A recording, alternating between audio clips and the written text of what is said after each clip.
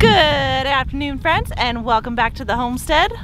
So, Lazy Gardener here to tell you that I'm just now getting out here to go ahead and put my garden to bed. I have been procrastinating and procrastinating to get out here and do this.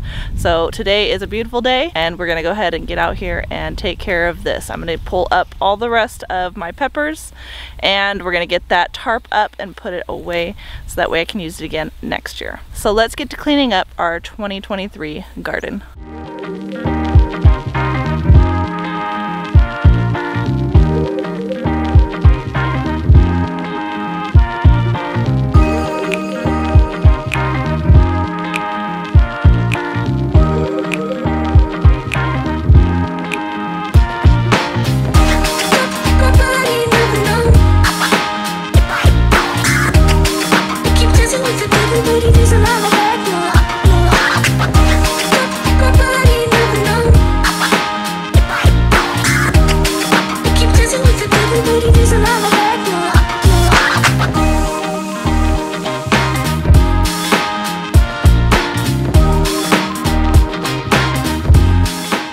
All right, that is my last trip with pulling out the peppers and the rest of the tomato plants.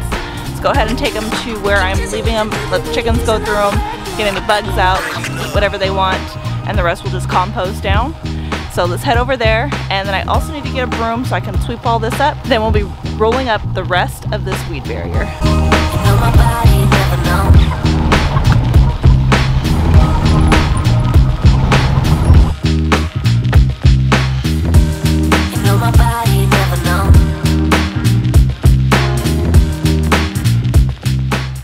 All right, so I went ahead and swept the first section of my weed barrier. Now I need to go through and pick up all of these, the stakes that I use to hold it in place, and then we can go ahead and pull up the weed barrier at that point and roll it up for next year.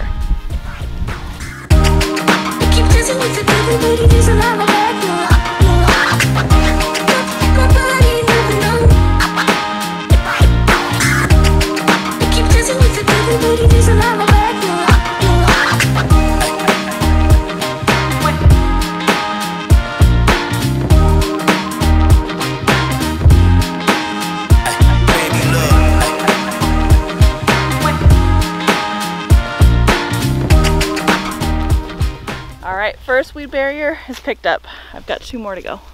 All right, friends, I am officially done.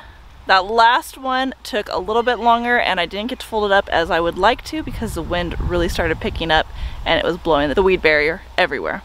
So, but it's done. I got all three of them pulled up and I must say that weed barrier worked really good because there are no weeds where that barrier was other than where the holes that I had planted things in. So it turned out really good. Now I'm gonna go ahead and take everything down to the pump house and store it for next year. Thanks for hanging out with me today, friends. I hope you enjoyed this video. Don't forget to like, subscribe, share with your friends and family. As always, I hope all is well and have a blessed day.